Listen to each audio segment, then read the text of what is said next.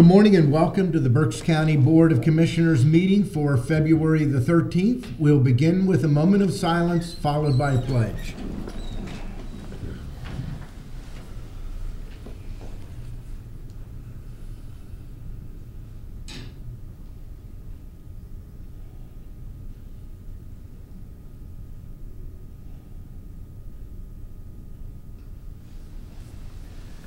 Pledge allegiance to the flag of the United States of America and to the republic for which it stands, one nation, under God, indivisible, with liberty and justice for all.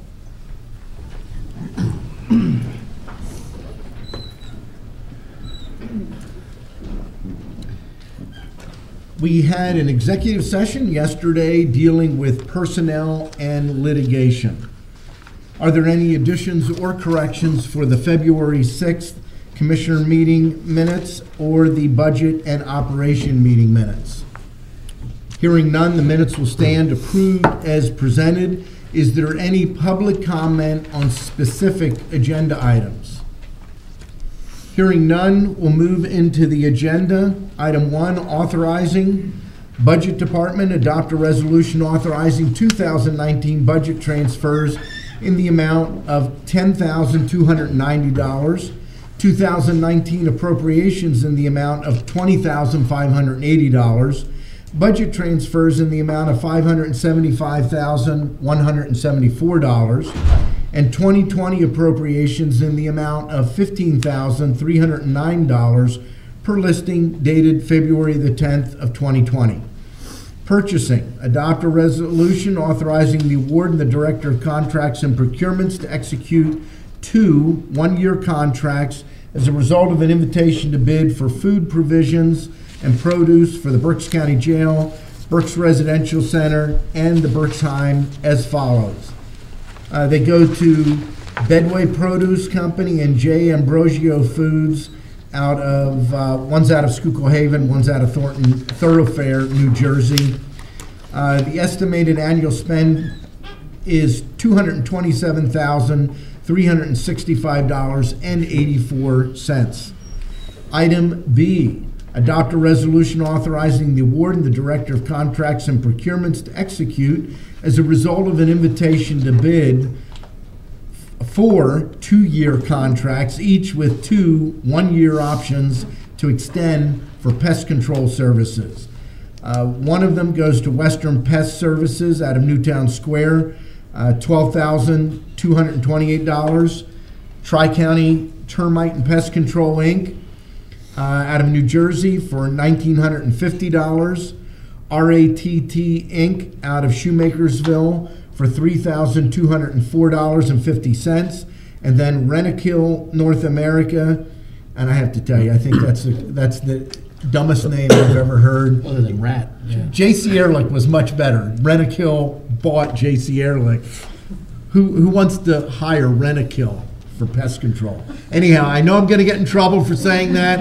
Uh, to me, it's humorous. So, and uh, Rentokil North America is four hundred and sixty dollars.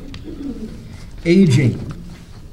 One item, adopt a resolution authorizing the chair to execute the data sharing and use agreement between the County of Berks and Service Access Management, Inc.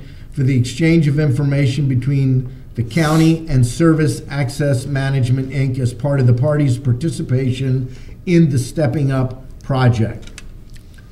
Several items are listed under the Commissioners. Item A, adopt a resolution authorizing Brian Gottschall, Director of Berks County Emergency Services, to execute the U.S. Department of Transportation Federal Fiscal Year 2020 through 2022 Hazardous Materials Emergency Preparedness Grant Agreement between the Commonwealth of Pennsylvania acting through the Pennsylvania Emergency Management Agency for the award of $15,944 in federal funds to assist in hazmat training. Item B, adopt a resolution authorizing the execution of the Commonwealth of Pennsylvania, Pennsylvania Emergency Management Agency 911 statewide interconnectivity funding grant agreement setting forth the responsibilities between PEMA and the county for the distribution and use of state funding for the Berks Mobile Field Collection Project. Item C, adopt a resolution ratifying, confirming, and approving the chair to execute or execution of the Pennsylvania Promise, and that is the provider enrollment base application for enrollment in medical assistance and the special provider agreement for the Berksheim Nursing and Rehabilitation and all necessary related documents. Item D, adopt a resolution authorizing the chair to execute the agreement between the County of Berks and the Redevelopment Authority of the County of Berks, whereby the county authorizes the authority to assist Penn State Health with funding and other assistance for the Cardiac Catheterization Lab St. Joseph's Project as a result of a grant the authority applied for and was awarded in the amount of $1 million for the project. That is a RACP uh, project through the Commonwealth.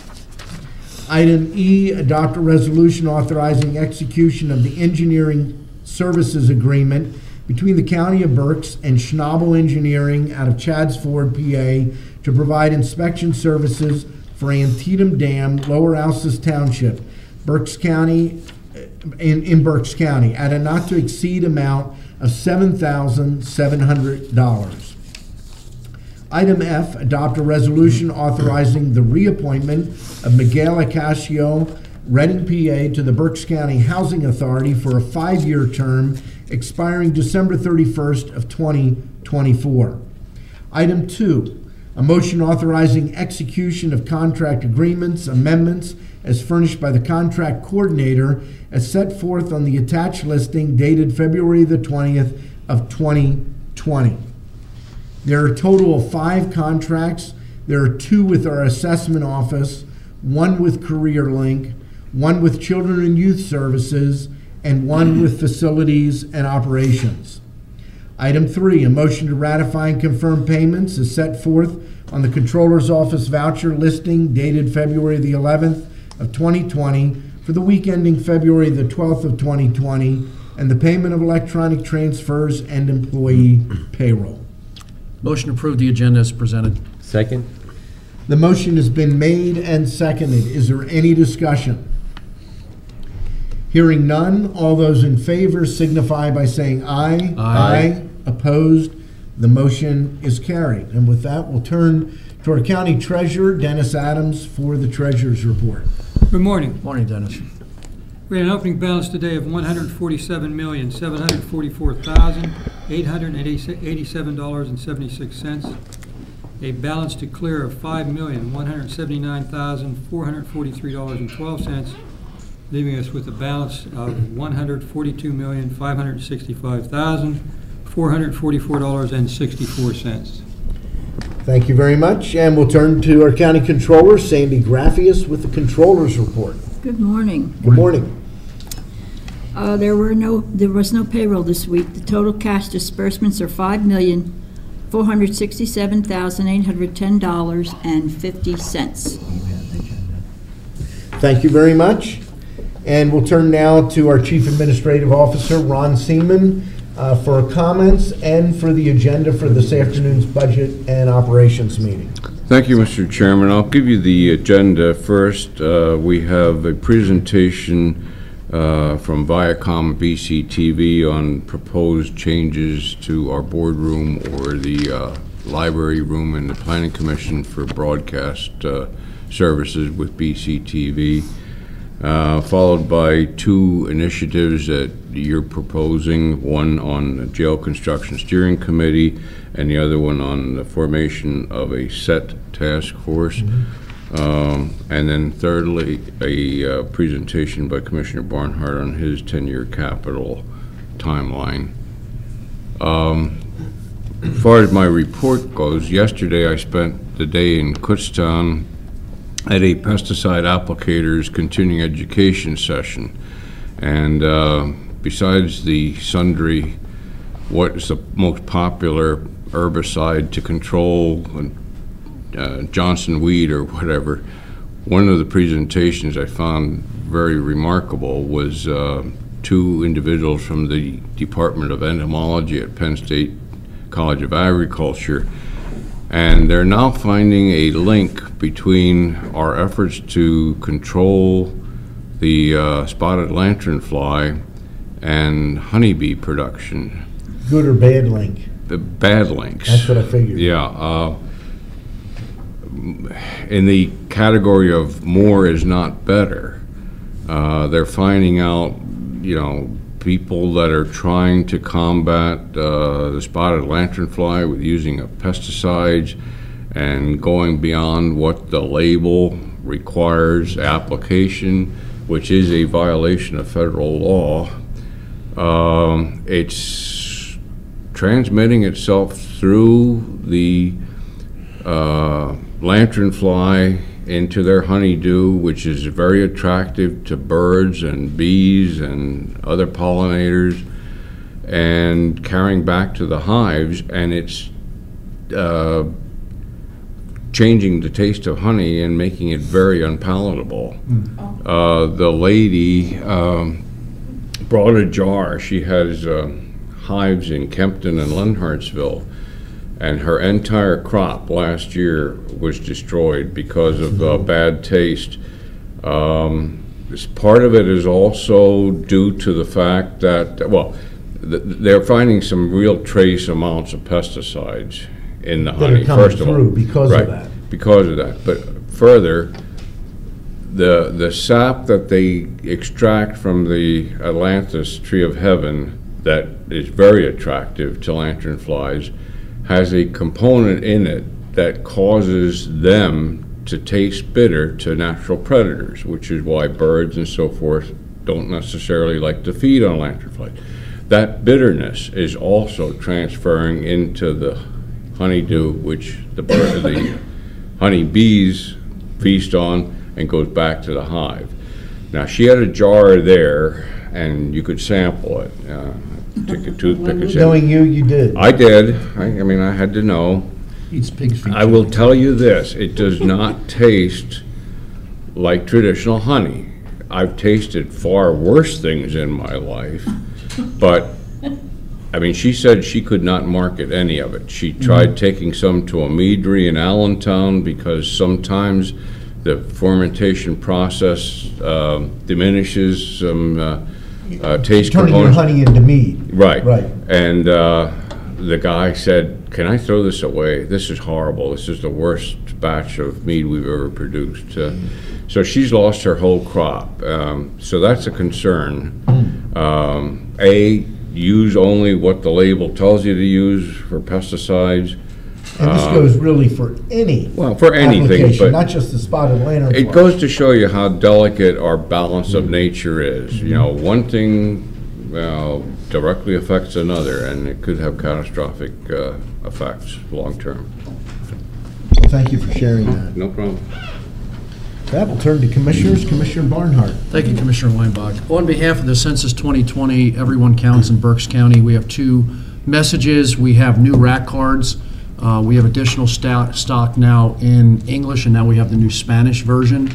So anyone in the audience who has a lot of traffic in their business or in their community and wants to take a few of these cards, please, we want to get the message out that everyone counts on April 1st, how critically important it is for our community, for everyone to be counted in place on April 1st. And we were notified last Friday uh, that there is a effort by the Republican National Committee, the RNC, has put out a questionnaire almost identical to what people are going to get during the census uh, in PA District 4, which is Congressman, Congresswoman Madeline Dean's district, so it does impact some of Berks County.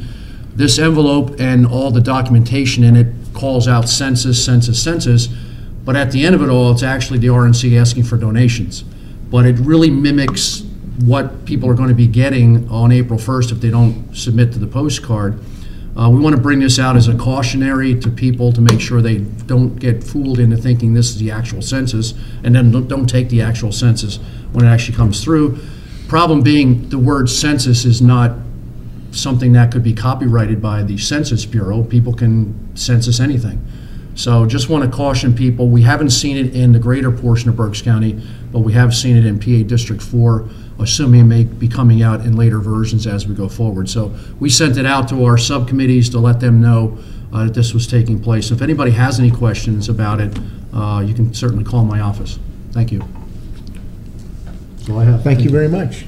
Commissioner Rivera. Yes, thank you. I'd like to give an update on the uh, workforce and labor market here in Berks County.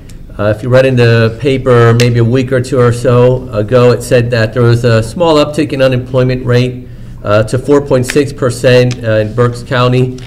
Uh, Basically, the unemployment rate is determined by the amount of people seeking work, and due to the increase in wages and opportunities, there are more people now looking for work than there were previously. So that's what's, uh, what has uh, uh, produced that increase there. If we look at job numbers, there's currently two- 208,000 Berks County residents are working, and that's an all-time record. Also, the number of non-farm jobs is also a record, having reached 182,400 non-farm jobs. So you can see, even though that number percentage increased by 0.2%, the number of people working and the number amount of jobs out there are at all-time highs right now in Berks County, and that's great news. Uh, Manufacturing in particular has added over 700 jobs in uh, 2019, and they're still looking to replace 7,000 workers within the next seven years. So there's great opportunities out there in manufacturing. Healthcare hiring has remained strong, and they added over 600 jobs last year, and we expect the increases to continue as well for the next seven to 10 years. And in construction, that's another area where we have seen uh, rise in, in wages, and we expect uh, contractors to continue to increase their wages in order to attract and retain the talent that they need to be able to win contracts and to be able to perform the job that they need. So it's great news for the Berks County work market. There is work out there, and we have great numbers that we haven't seen ever before in the county. Something else I want to touch out, uh, had the opportunity to tour uh, Reading Area Community College yesterday and was able to see the great Mechatronics program that they have there. So please, if you know of anyone that's interested in that, even exploring it, they may not have any interest now, but if you want to have someone go and explore it and look at what happens there, what their options for jobs are, because they have to do with manufacturing, which is what we're looking at, where there's an, will be an increase of 7,000 replacement jobs that we need within the next seven years. That program there at RAC is going to help train and fill these jobs. So if you have anyone that may be interested in that or is considering it, please have them reach out to RAC and have them give a tour and learn more about what's going on there. Thank you. Thank you very much, Commissioner. Uh, Two items. Uh, First of all, I want to compliment our solicitor. I- Some of you, or most of you, may have seen in the paper today that uh, Christine Sadler, on behalf of the county and in conjunction with the district attorney, uh, became involved uh, in a uh, case uh, through MDJ Robinson's office where we believe uh, how would you describe it? An utter failure, I guess. Utter in failure. In a lot of ways. I'm gonna, since the legal nature, if you could just touch on that, because I think it's important that people uh, be aware that the county doesn't just uh, say, hey, that's not our problem. Well, um, I think uh, the first way in which this case is disappointing in a lot of different ways is um, this incident resulted from a traffic stop um, in uh, 2018 um, that resulted in the the police officer involved issuing 12 citations to the individual that was involved in the- in the, in the incident. Um, From my perspective, even as a former prosecutor, to issue 12 citations in a single traffic incident is just ridiculous. It's ridiculous. There's no, um, from my perspective, no um, legitimate justification of why somebody should be issued that many citations. Certainly, I believe in holding people accountable, uh, uh, but that extends, in my opinion, far beyond what is necessary to send a clear message about obedience to the laws uh, of this Commonwealth. Um, So we had that issue, and then this individual um, uh, chose to turn himself in. He was on a payment plan. Um, He was making payments, but unfortunately, because he was working seasonal work as a landscaper, was unable to continue with the payment plan. He came in, um, and that's where the story seems to, to have some divergence. I'm not really sure exactly what happened when he came in, because I was given two different stories about what happened when he arrived in the courthouse and what was said or not said. But uh, everyone's in agreement um, that he was um, unable to pay that and needed some sort of resolution of that. Where we continue to have a second breakdown, in my view, was how he, his situation was handled when he arrived in the courthouse. He did not come with an attorney. He came in, um, it was not the normal day uh, that the public defenders are down in that courtroom um, for these payment determination hearings. The public defender's office goes down into Judge Robinson's courtroom, I'm told, every Thursday to handle those, um, and this was not a Thursday that this occurred. Rather than um, sending this individual away and telling them to come back on Thursday so that he could have proper legal representation, which is a basic tenet of our justice system, um, they decided to address the issue that day.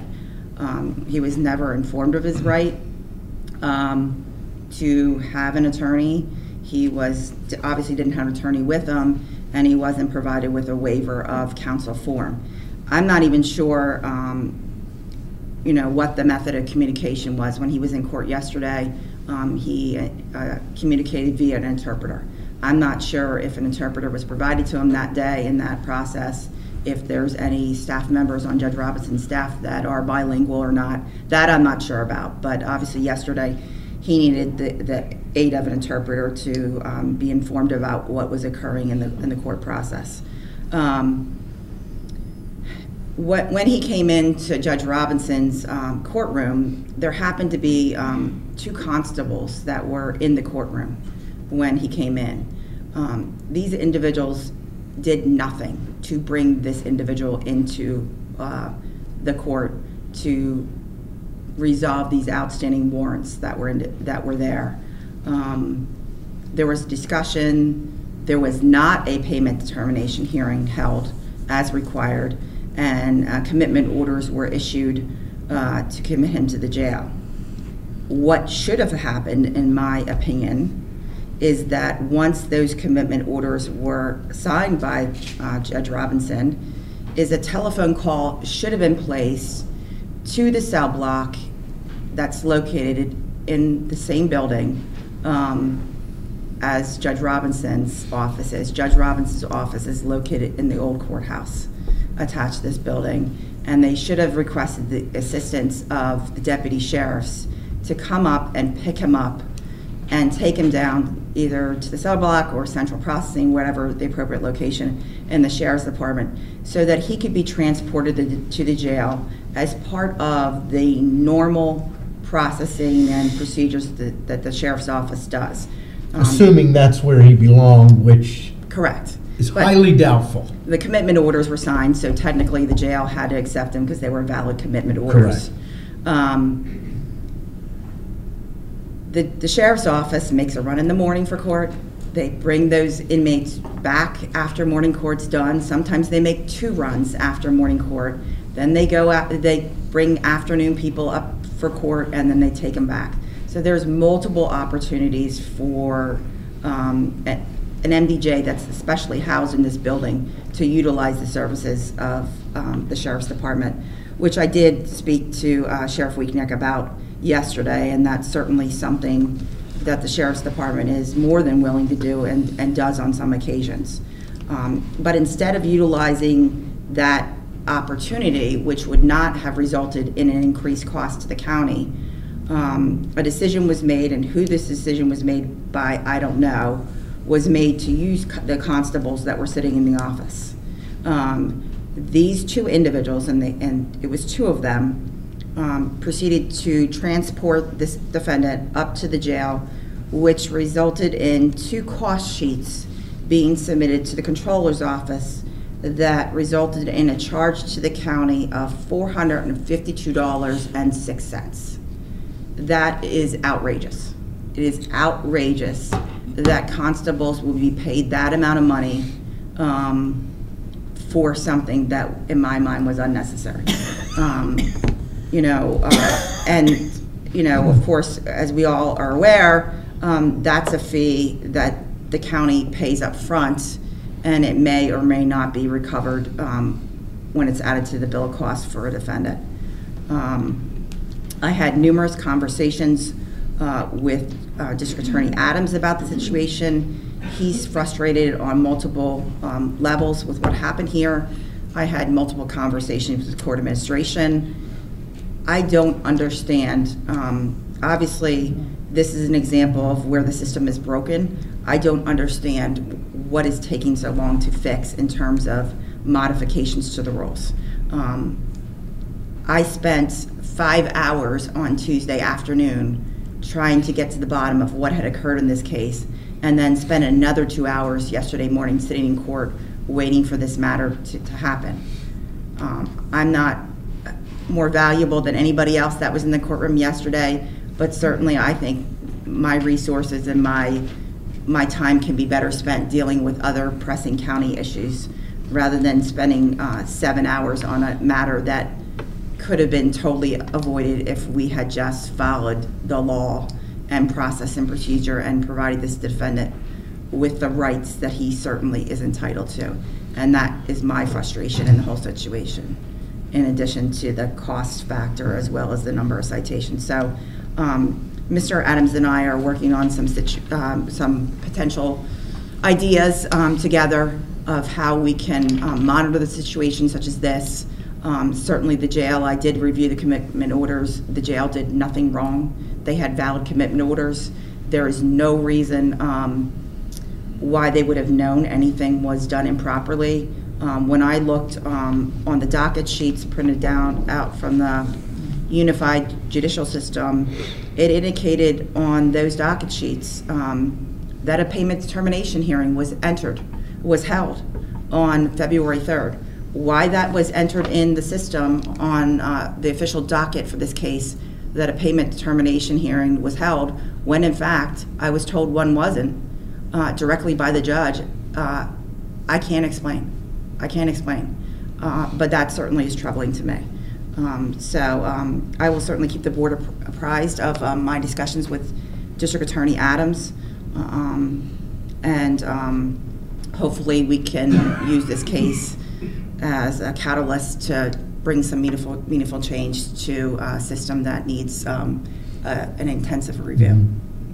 Yeah, just to let you know where I am.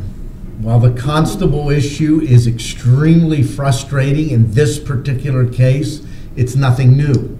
This has been going on for some time. It's why the county commissioners unanimously have authorized our CAO and our solicitor uh, to engage a forensic audit of the entire system. And that is in the, it- the, the audit hasn't started, but the process of getting that audit started is underway. That's a bad situation. The unnecessary cost to the county is a bad situation. But the outrageous aspect of this is what appears to be the clear violation of the constitutional rights of an individual. I've, you heard me say this before. Truly nonviolent individuals don't belong in our county jail. Keep in mind, for those of you that want to be tough on crime and that's all you care about, the minute anybody walks through the door of our jail, they become a ward of the county. Their health care is your responsibility and my responsibility, every aspect. So we need to make sure that people in our county jail are there because they legitimately need to be separated from the community. This guy turned himself in under the circumstances of he's a landscaper and it's obviously that's a seasonal job. He did the right thing and he got thrown in jail. We these things happen. We want to talk about them happening someplace else in some other crazy city or crazy county. This has happened right here in Berks County, and it isn't the first time. I'm, I think we're very fortunate to have a district attorney like John Adams and a solicitor like Christine Sadler that will jump in and get involved. Believe me, John Adams had nothing to do with what took place. John is extremely frustrated. I see our, is our sheriff still here? Yes, he is. Uh, Our sheriff, Eric Weaknecht, and John Adams uh, have been talking about this for a long time, and it's through the two of them that I really became engaged. And I, I'm guessing some people may bring that up this morning. I figured I wanted to get in front of it and give you all the detail uh, that we know right now.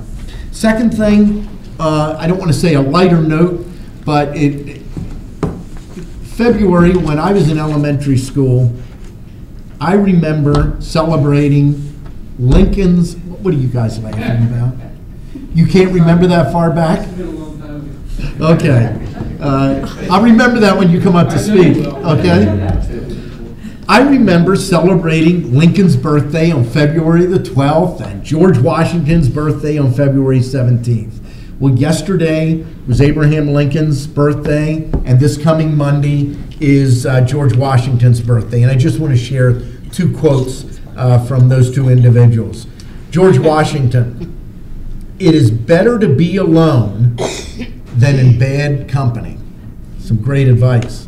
Lincoln, a little bit longer, uh, but a great point, and just to put this in context, this is from 1855, so it's well before uh, he's president of the United States. On the question of liberty, as a principle, we are not what we have been. When we were the political slaves of King George and wanted to be free, we called the maxim that, quote, all men are created equal, end quote, a self evident truth.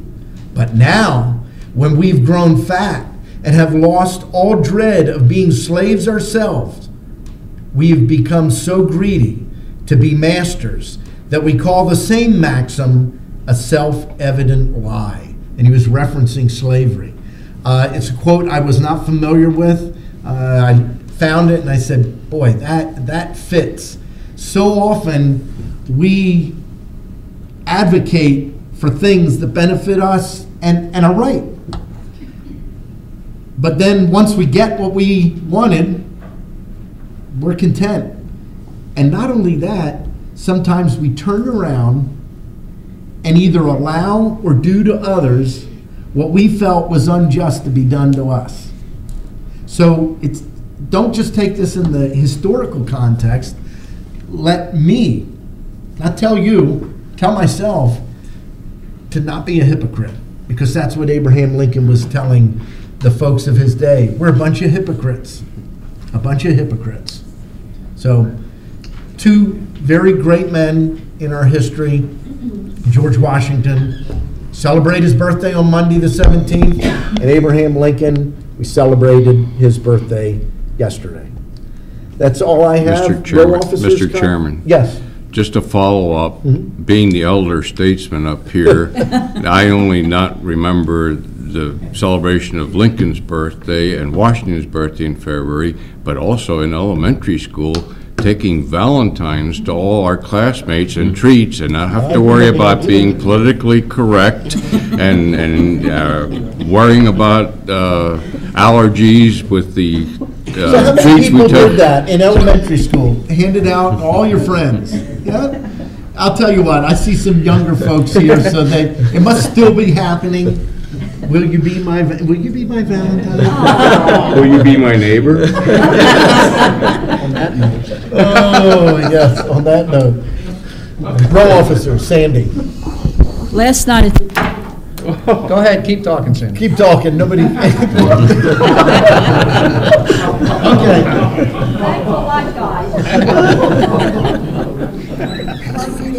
Thank you, Sandy. Get her plugged in. Moving on. So hard next time. I don't realize my own strength here, I'll tell you. Is it going to do it? You're good. Okay, good. Last night at the Doubletree, we had a celebration for Mary Kay Bernosky, who was the uh, executive director of Safe Berks, which is formerly uh, the um, Berks Women in Crisis. Berks Women in Crisis. And she has moved on to the Community Foundation over in York.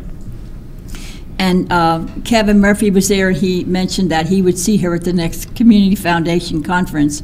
But in the meantime, there were probably about two or three hundred of us at the Doubletree celebrating the changes that she has been able to effect for Safe Berks, including a brand-new building down at Third and Spruce. And she was most gracious about the whole celebration, very humble. But it was great to see Berks County honoring somebody that did such a good job. Very, very wonderful lady. I stopped over uh, at the very beginning and talked to Mary Kay. She's done great work, and I think she'll be a great uh, leader in York County. I told her I can't help her with the commissioners. I think two of the three commissioners that I knew, well, actually, I only knew two of the three, and those two are gone. Oh, So, and so is anyone Mary else Kay. in row office? Public comment? Just step up to the microphone, eh, state your name and where you're from, and we have three minutes. Yeah, good day. Uh, Carlos Sayas from the city of Reading. Uh, I am here in regard the census 2020 uh, on January the 30th. I saw your program in BCTV and appeared to me that this is so important for all the ramification bes- be- beside the allocation of resources the reapportionment of congressional seats, restricting a state and local level, is so important in so many ways. But when I came on Monday to check in the planning division, I have been involved in two, in two rounds of state restricting and city restricting, plus many other efforts in regard HAVA, Help America Vote Act, and uh, Voting Rights Act. Um, the last fight here was 17 years ago in this month. Uh, I remember Vernon Schaeffer in that seat there talking hate speech against the Puerto Ricans. But we move forward. We are here with new day today. Uh, appeared to me that the plan of the of the Berks County Complete Count Committee uh, some uh, correction you need to comply with certain laws and regulations, the Federal Code Regulations and some laws of constitutional dimensions. And appeared to me that you need to comply and be aware that Berks County is 203 section of the Voting Rights Act. That was certified, that was certified again, and always has been certified by the Bureau of the Census that certification has some consequence, not only in restricting, but in so many provision of services to minority uh, and person that have limited English proficiency. That means uh, I, I don't have the time here to discuss in depth the the the consequence that can bring this situation with this map but appear to me that certain uh, it's an obstacle to accurately count hard to count communities. For example, I, I cannot comprehend the configuration of this plan with the situation of Glenside homes and Oakbrook homes and other areas in the south uh, of the city, like the District 1 of the city, because you don't have any bilingual, any bilingual form only bilingual cards to be sent to that district. This is irrational. And it's, it's not only 18.4 like Oakbrook, it's 18.1 and Old Milmont and everything. Two, 204 or 203, section 203 involve the county, not only the city, the county.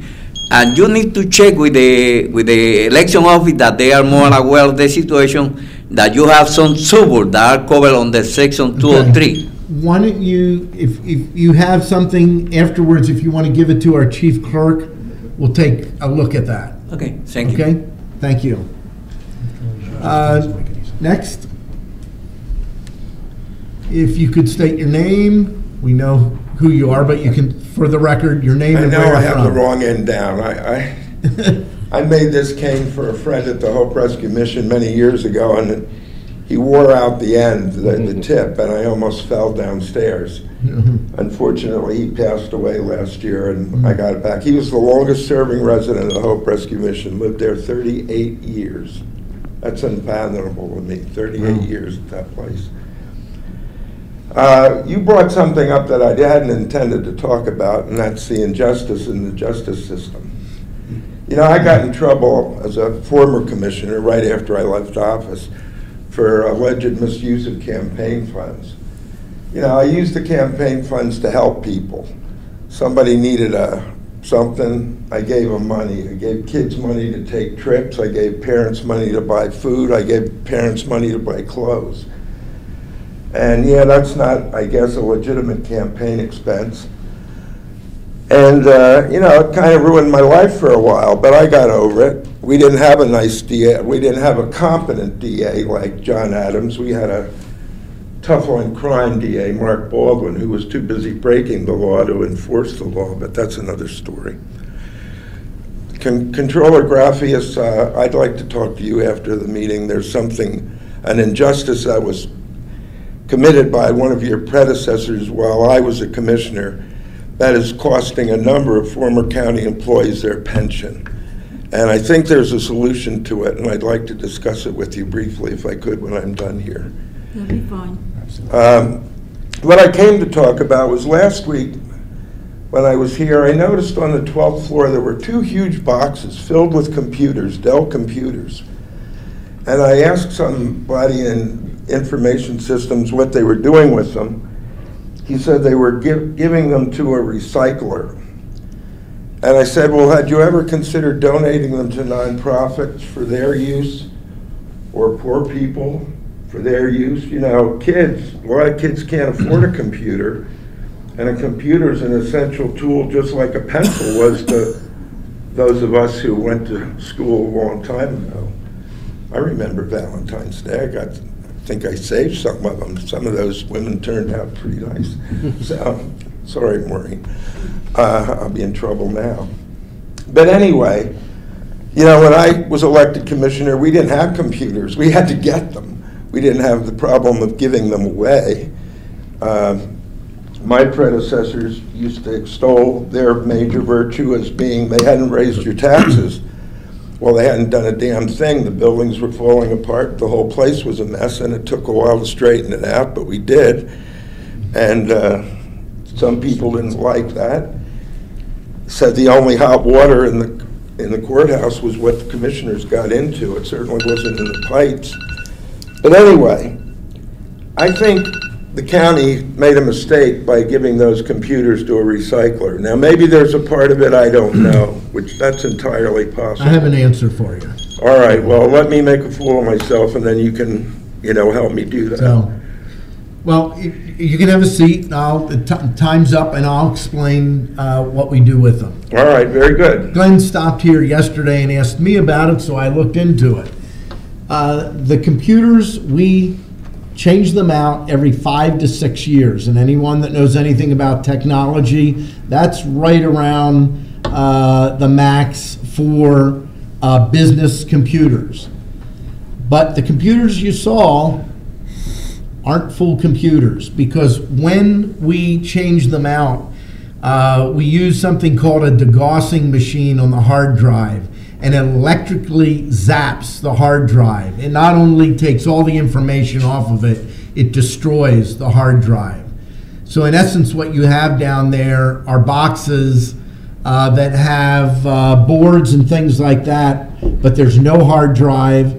And it's done because of the Criminal Justice Information Service regulations and other private information that may be on those computers. You think about the different departments, Children and Youth Services, APO, JPO, all these different departments.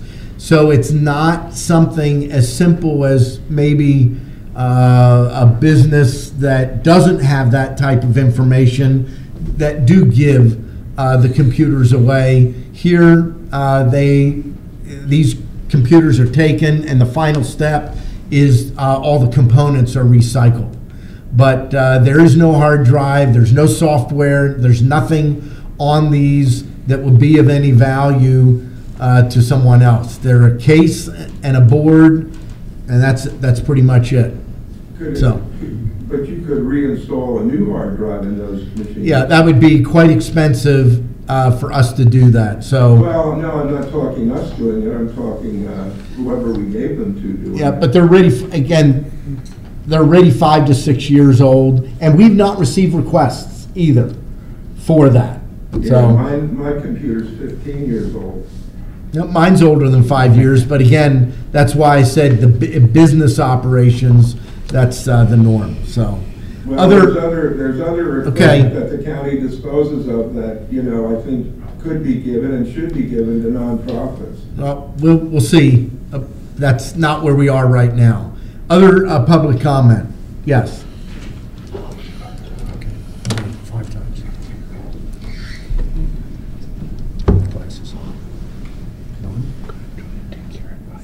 Good morning, Crystal Kowalski, Wyomissing. I want to thank you for your really clear comments on yesterday's case and for what, and Christine, for what you did and the time you put in to get that man out of prison.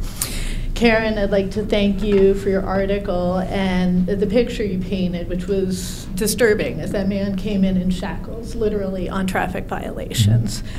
Um, okay, so you covered a lot of things that I was going to say, um, but I'm going to add some additional information. So one is just a, I guess, a comment.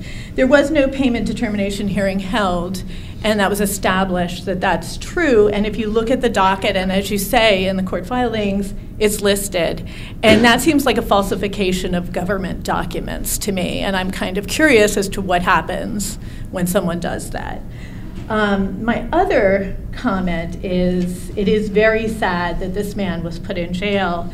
And in, um, in his petition, Andrew Christy writes that um, he had paid into his fines $1,688 and that he still owed approximately $3,658. And this is on traffic citations.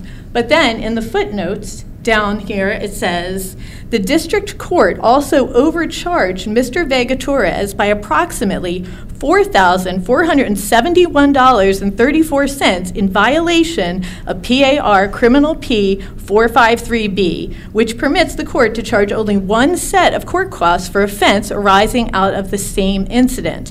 All of these cases arose out of the same incident. Moreover, it is unlawful to charge a defendant with server fees or other constable costs if that defendant is indigent.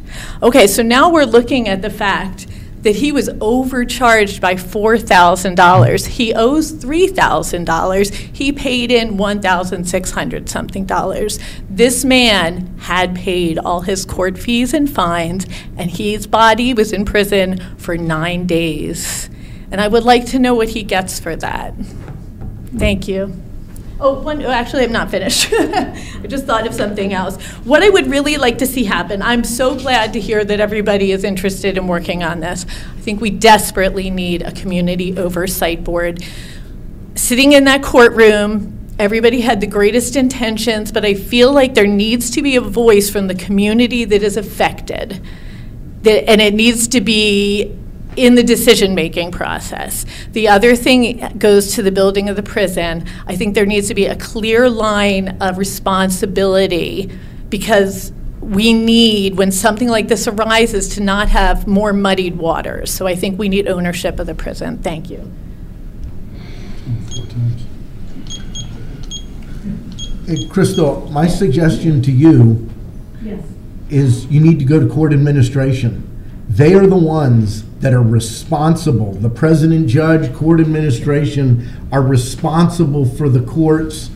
Uh, We are doing what we are able to do, and we were, we got involved because it connected to the jail.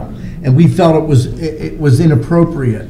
It's unusual, is, is this, am I correct in saying it's unusual? What happened was, you- were unique circumstances to get us involved. But this is something, when you ask for oversight and when you ask for things to change, court administration and the president judge is where that message needs to go. I will do that. I think this was unique in that it rose to the occasion that it went to court, okay? But if it ever does again through the ACLU, it's going to be you guys again. It's going to be the jail again, and it can rise to that occasion. Uh, we- Yeah, and I'm not denying that. We were Yeah. involved, but we don't have the ability, we cannot, as commissioners, dictate to the courts procedure or policy. Right. we Whatever you just- can do with the purse strings would be But appreciated. I, that's why I made the strong statement I did this morning, that this is unjust. What happened was unjust, and it puts a pale over the entire system. It, people see this one thing, and look, overwhelmingly, our courts in Berks County are honest and upright. But when you see something like this happen and you know these things have happened before, it causes people to lose faith in the system. And it causes somebody like me to lose faith in the system. So it needs to be dealt with, and uh, we're, we're, it, there are things going on to address it. Hopefully, there's some fundamental changes in the very near future. And Crystal, you could certainly, um, you know, your question about, you know, the records being entered that way when it not occurring, Mhm. that's a conversation you can certainly have with District Attorney Adams about that. I will, thank you. Yeah. Where you- And we've had that conversation, Yeah. we being our our solicitor. Other public comment? Morning, good to see everybody again. Uh, Pat Murray, Shillington. Yes, Pat. Want to start off first, congratulations, Commissioner Rivera. I haven't had a Thank you. chance to talk to you in person. I saw you at the Reading Phillies. and Yeah, yeah. Good to see you. Commissioner Leinbach, I wish you best on Monday. Hope everything turns out well. Thank you Sorry to hear very much. on, So, Thank hate you. to see, you know, bad things happen to good people. Commissioner Barnhardt, as always, good to see you. Uh, I wanted to remind everybody, March 5th is coming up. It's the Black Balloon Benefit Buffet for the Black Balloon Day, which is March 6th. Uh, We hold the event each year in honor of my brother who passed from an opioid overdose. Uh, I'm honored to sit with Commissioner Barnhardt and many of, you know, the best people in the county that fight the opioid crisis. Um, I say it every day during my posts on our page that this is something that does not discriminate in Berks County. And Unfortunately, today I hear a lot of discrimination going on in the county, so this is something every person in the room is affected by. Um, So I'm here to formally invite everybody to come out. I have tickets, it is fifteen dollars. This year Hamid has moved us over to the Shillington, Farm- excuse me, the Shillington Farmers Market, Okay. because the turnout in past years has just been, to be honest, overwhelming. Um, We started out with thinking we'd only have 50 to 75 people co- show up. The past year, we're over 300 each year. We have tons of community donations. Um, Every dollar we make goes straight back into the community. It goes to SOS Berks for the website, Narcan kits, opioid awareness nights at the Phillies, the Royals. Uh, We're looking into bigger and better events each year. So I invite everybody, if you're free, March 5th from 4:30 to 8 PM to the Shillington Farmers Market. Tickets are $15. 100% of everything that day goes straight back into the community. So this is not something that, you know, only affects one person. This affects every single person in the room. Thank you. Thank you for what you do. Thank you very much, and can you email us uh, some information? I'll put it up on my social media and get the word out there. Absolutely. Uh, Bill Murray, Wyomissing, Reading, wherever I'm living these days. Um, Obviously, very proud of, uh, you know, Pat's efforts and the support of the commissioners in the past, currently, and in the future. Uh, Commissioner Rivera, we certainly welcome your support. Um, I just wanted to take a second to, a lot of fundraisers and things, people get the, oh, we're just going to raise some money and we're going to hand out some pamphlets or whatever. Um, The event's a lot more than that. Um, Wasn't designed to be that way, but um, let me give you an example of what happens. Um, Many uh, recently um, separated parents from their child come to this event, and they'll usually come and see Pat, and then he has to hand them to me because he tells them, I'm not a parent. if you got a daughter or a son, I can talk to them, but I'm not a parent. And um, as um, Congressman Meuser said to me the other night, it was very revealing. I'm what they call 15 years strong. And um, it's not easy to be strong these days in, in this stuff and to come forward as a semi public figure, um, trying to say to people, you know, come out of the shadows and, and share your stories because um, that night he literally will have parents in my face from 4.30 till 8 9 o'clock at night.